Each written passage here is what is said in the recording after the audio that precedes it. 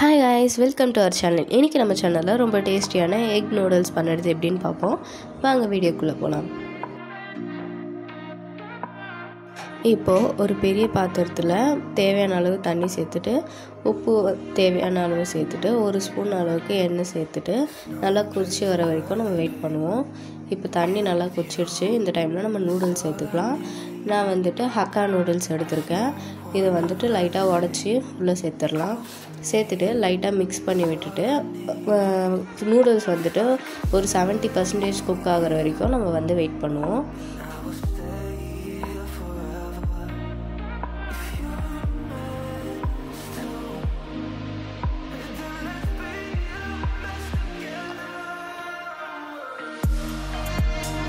இப்போ நம்ம noodles cook ஆகிடுச்சான்னு check பண்ணி பார்ப்போம். பாருங்கள் நூடுல்ஸ் வந்துட்டு இந்த அளவுக்கு தான் இருக்கணும். நல்லா குக் ஆகிடுச்சு ஒரு செவன்ட்டிலேருந்து எயிட்டி பர்சன்டேஜ் வரைக்கும் குக் ஆனாலே போதும். இப்போ நம்ம வந்துட்டு இதை நம்ம வெடி கட்டி வச்சிடலாம் தனியாக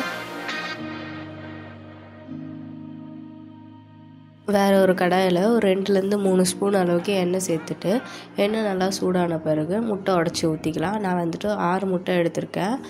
ஆறு முட்டையும் உடச்சி ஊற்றுக்கலாம் உங்களுக்கு எந்த அளவுக்கு தேவையோ அத்தினி முட்டை நீங்கள் சேர்த்துக்கலாம்.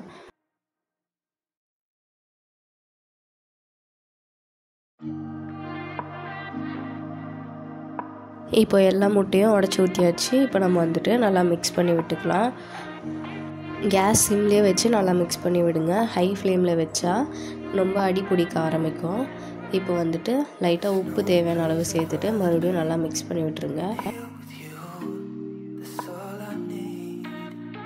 அவ்வளோதான் நம்மளோட எக் நல்லா வெந்து வந்தாச்சு. இதை நம்ம வேறு ஒரு பிளேட்டுக்கு சேஞ்ச் பண்ணிவிட்டு அதே கடாயில் ஒரு ரெண்டுலேருந்து மூணு ஸ்பூன் அளவுக்கு எண்ணெய் சேர்த்துப்போம். எண்ணெய் நல்லா சூடான பிறகு ஒரு இன்ச் அளவுக்கு இஞ்சியும் நாலு பல் பூண்டியும் நான் வந்துட்டு குட்டி குட்டியாக சாப் பண்ணி வச்சுருக்கேன். அதை நம்ம வந்துட்டு எண்ணெயில் நல்லா ரோஸ்ட் பண்ணிக்கலாம். இந்த டைமில் நம்ம வந்துட்டு வெங்காயம் சேர்த்துக்கலாம். நான் வந்துட்டு ரெண்டு சின்ன சைஸ் வெங்காயம் நல்லா குட்டியாக சாப் பண்ணி வச்சுருக்கேன். இதை நம்ம சேர்த்துட்டு நல்லா பொன்னிறமாக வர வரைக்கும் வதக்கிக்கலாம்.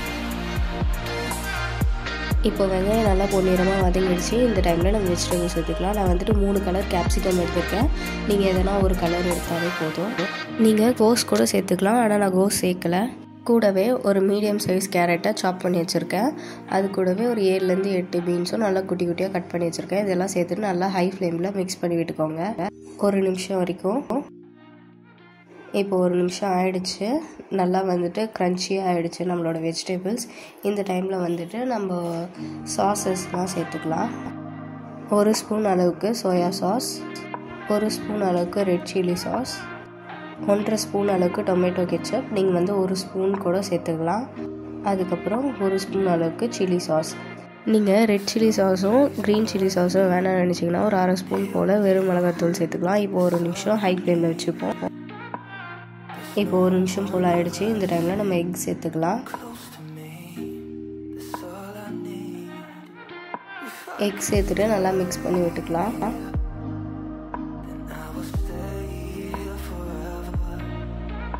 இப்போது நல்லா மிக்ஸ் பண்ணியாச்சு. இந்த டைமில் நம்ம நூடுல்ஸ் வந்துட்டு வேக வச்சு வச்சுருக்கோம்ல அதை நம்ம இதில் சேர்த்துப்போம்.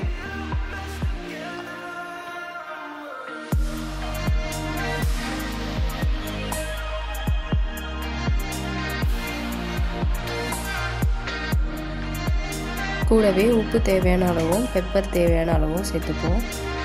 நான் வந்துட்டு கொஞ்சம் பெப்பர் தூக்கலாக தான் சேர்த்துருக்கேன். சேர்த்துட்டு நல்லா மிக்ஸ் பண்ணி விட்டுக்கலாம். நீங்கள் கரண்டி வச்சு கூட மிக்ஸ் பண்ணலாம். அதுவும் கொஞ்சம் ஈஸியாக தான் இருக்கும்.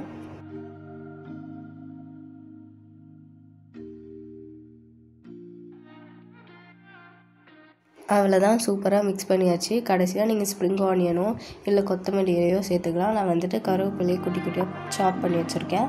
அதை நம்ம சேர்த்துப்போம். இப்போ நம்ம பிளேட்டிங் பண்ணிடலாம்.